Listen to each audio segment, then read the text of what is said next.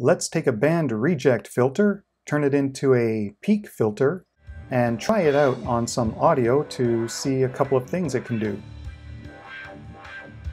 A band stop or reject filter will attenuate a certain range of frequencies while passing others above and below. And if it's a high Q filter like a notch filter, it will have a very narrow stop band. So you can cut out a very specific range of frequencies like AC power line noise in your audio circuits. If a band stop filter has a lower Q with a wider pass band, it can be used in audio circuits to contour the sound by trying to remove any unwanted frequencies, like maybe taking out the mid-range in guitar amplifiers. The topology we're going to look at today is a bridged T filter, so we have a T with a couple of resistors and capacitor, and that is bridged with another capacitor.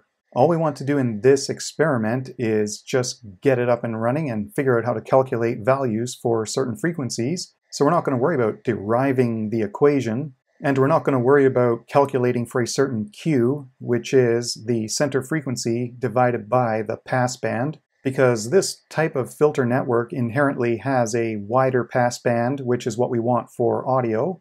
So we just need to calculate a certain center frequency based on the equation 1 over 2 pi times square root of R1 times R2 times C1 times C2. And if we make both resistors the same value, it becomes 1 over 2 pi R square root C1 C2. It works out that if we make both resistors the same value and we use a ganged potentiometer, we can keep both capacitors at a fixed calculated value and as we adjust the potentiometer, this center frequency will sweep up and down within the limits of the component values. So we can adjust the pot and have this cut out different parts of the audio signal. I put the bandstop filter network in LT Spice, and since I have a 10K dual ganged potentiometer available, I set both resistors to 10K, and I wanted to use standard capacitors that I have on hand, and just playing around with the ratios, I wanted C2 to be larger than C1 just to give me this overall response curve. So plugging these values into the calculator to check what the center frequency here would be, when the pot is at the maximum resistance, our frequency is 1 over 2 pi 10k square root of 47 nano times 1 micro, which is 73 hertz. So when these pots are adjusted all the way to one side at maximum resistance, if we put a cursor on this simulation and go down to the actual notch depth, it's 73 hertz. So we'll be removing low frequencies. Now let's say we adjust the pot so that it's almost all the way to the other side. It's only 50 ohms now. The notch should be up near 14.7 kilohertz. So I make both resistors 50 ohms in the simulation, and now the notch is up around 14.6 kilohertz. So this means as we adjust the pot from minimum to maximum, we can adjust what frequency range we are pulling out of the audio signal from almost down to nothing all the way up to the extremes of what many people can hear. But for this little project, I don't actually want a notch, I want a peak that I can move back and forth. And then if I have audio playing, I can create a similar effect to a wah-wah guitar pedal, where the pedal sweeps this peak along the frequency as you move your foot and change a potentiometer. And so that gives you the Jimi Hendrix kind of guitar sound, similar to this.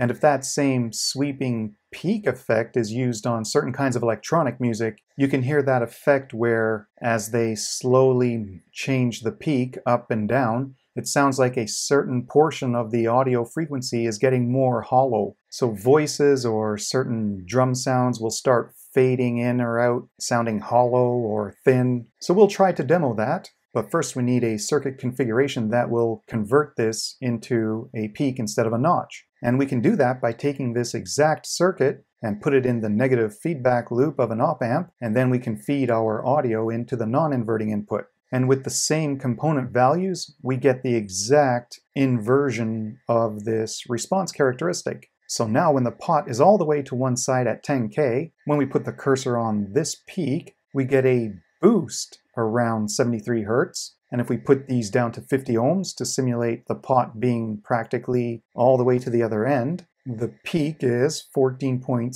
kilohertz. And when you move this back and forth, you create that wah-wah effect. And if you do it slowly with electronic music, you get that weird hollowing effect. So now I have the pot set at 10K again, and I'm doing two simulations here side by side. And in this simulation, I have a sine wave coming in, and when I zoom in on the sine wave, they practically are the same amplitude and same phase. They're on top of each other, because at 10 kilohertz, we're practically back at zero phase shift, and we're not boosting anything. So the input and output should be at the same level and same alignment. But now let's put in 100 hertz, which is going to be close to this 73 hertz peak. Cyan is the input sine wave, and green is the output, which is greatly boosted as the filter shows. And when we put the cursor about 100 hertz, the phase shift should be minus 48 degrees, so these sine waves are not lining up because of that phase shift. So to put that into perspective, let's look at a real demo of a sine wave, what happens to the sine wave as we move the potentiometer.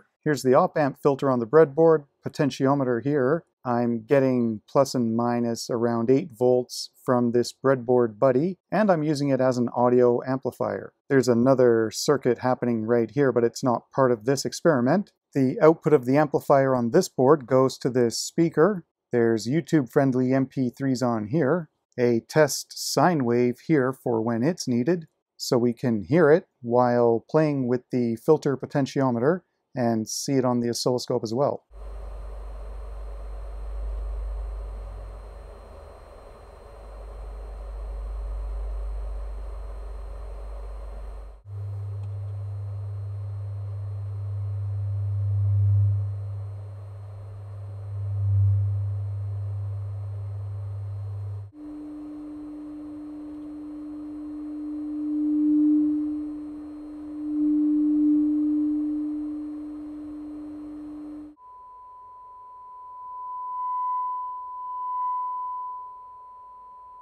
And now instead of a test sine wave, let's try some music and then move this peak up and down slowly and quickly and see what kind of impact that has on music.